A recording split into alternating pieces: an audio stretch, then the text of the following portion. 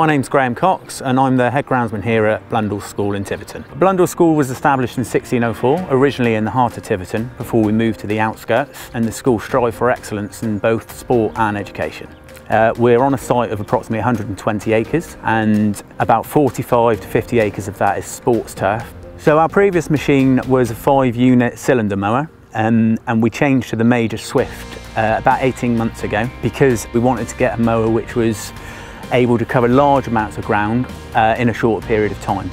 We trialled a variety of different brands for this type of mower and the Major itself because of the width of it and its build quality, we felt it knocked spots off of its competitors. We also had our demonstration of it on a very wet day, which it is often wet here in Devon, and the machine coped with it perfectly. It left no debris and it was a great finish in really tough conditions, and that sealed the deal for us really.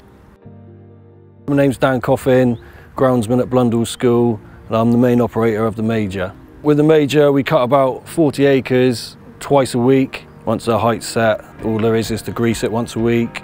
Once a month we sharpen the blades and it's basically jump in and go. No belts to worry about, it's really easy to do.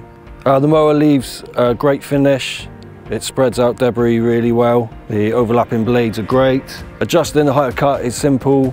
The machine has got a great output. We've halved our cutting time compared to the cylinder machine and we can go in all weather conditions and it's made our job a lot easier. We get great backup from Major. We haven't had any downtime with this machine, but any parts we need we can get promptly from MST.